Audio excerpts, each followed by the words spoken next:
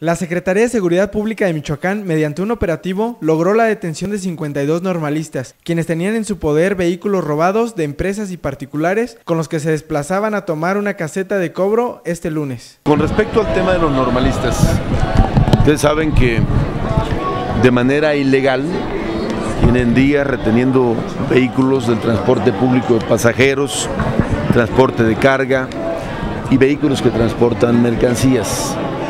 En el operativo de hoy en la mañana se detuvo, se tuvieron tres vehículos eh, robados, evidentemente sustraídos de manera ilegal, y junto con ello se retuvieron a 30 um, personas del sexo masculino y a 22 del sexo femenino.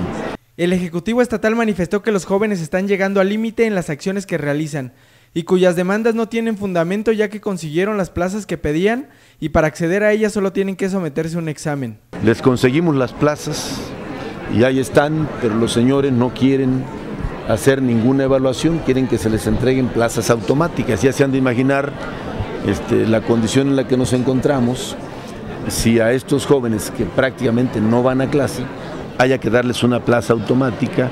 Eh, primero, la ley lo prohíbe. Segundo, el Estado no tiene dinero para dar plazas automáticas. Y tercero, pues percibo que con la dinámica que traen, pues no siempre se tiene la vocación de ser docente. Aureoles Conejo recalcó que no se permitirá más este tipo de actos y se deberá aplicar la ley sin distinciones ni presiones. Añadió que la Procuraduría se encargará de las investigaciones y las autoridades judiciales serán las encargadas de determinar el castigo. Para Cuasar TV, César Hernández.